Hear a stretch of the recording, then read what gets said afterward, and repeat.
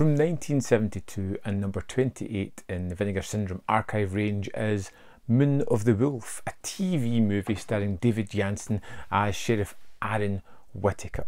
And as this one opens up, there has been a death. A young woman has been murdered. Uh, what can you tell me, Doc? Right now, only that it's not considered good medical practice to perform autopsies in the middle of swamps. And from then on, we kind of follow our character as he tries to solve the mystery, tying up what she did in her final hours, trying to meet the people who impacted her life, who were dating her, which was her story all about. I really like this idea. You kind of seen it before in other TV shows and movies where we slowly discover the victim through the information we were given and through the people that we talked to, the people that loved her, is how we envisage this victim at the start. Now, of course, we all know it's been a werewolf.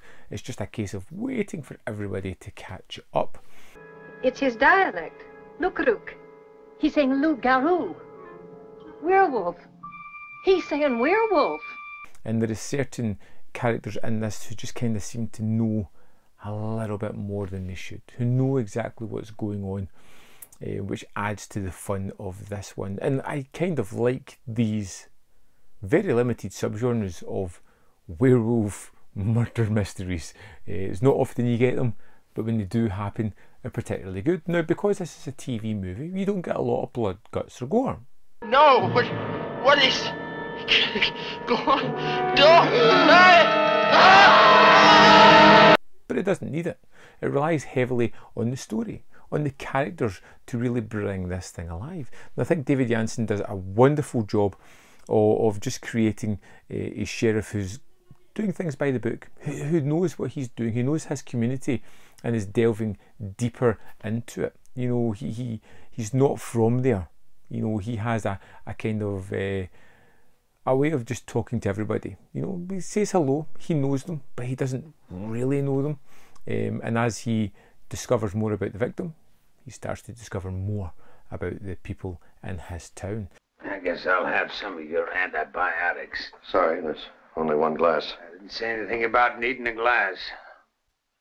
Of course, it's all about the mystery of who the werewolf is, and unfortunately, I think that the movie kind of lets itself down a little bit by revealing it way too soon. Um, I was hoping it was going to be a twist, a bait and switch of some sort where we would have a big reveal that it wasn't really the person that I thought it was, but it's quite obvious uh, when it happens who it's going to be. When we get to the final 15 20 minutes, we really get the wolf makeup, we get the attacks. We don't get much of the blood or the guts or gore, but by that point, we don't need it. We're looking for the closure that we know is going to come, and it comes in a really nice way. When I feel out of place, I just uh, shut up. When I do, I just keep talking. I really liked Moon of the Wolf. You know, at 75 minutes, it's a breeze to watch. It's got some great characters in this one. It's got Geoffrey Lewis, uh, who is a character actor that I really love. He appears in it as well.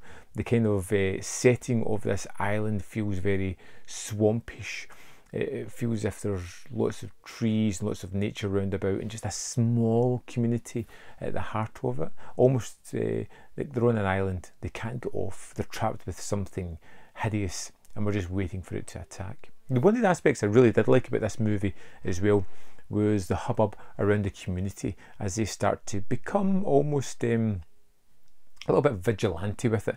You know, they think it's a pack of wolves, so they're going to go out and hunt wolves when they realise later on it could be something else. Maybe they're going to start and do that as well. You get this idea of this rambunctious uh, community that are easy and quick to arm, looking uh, to unleash their frustrations on something that's violent and pointless.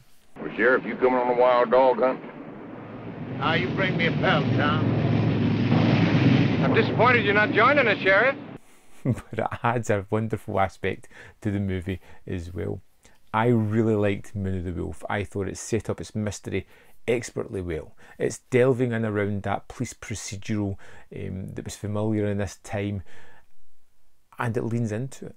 I loved the expansion of, of the, the victim. I loved the fact that this was not a crazed uh, killing spree but one that kind of instigated the um, procedure of trying to track down the killer. How it led to a supernatural moment where it's not just one or two people that see this creature, there are multiple people. Even the wrap up, the finale of how uh, everything closes was really nicely done. It was just set up expertly well and it was a good payoff. I I would recommend this. This became one of my favourite VSA titles, which isn't saying much. You know, the they're middle of the ground most of the time, but this is really fun. I'd love to know your thoughts on Moon of the Wolf. Let me know in the comment box below whether you liked it, loved it, hated it, despised it, whatever. I want to know what you thought of this one. As always, there's more content up here. You can see more of my stuff if you wish. And in the description box below are links to the Patreon, membership program, and manvfilm.com all ways in which you can support me. Thanks for watching. I'll see you next time. Man v Film.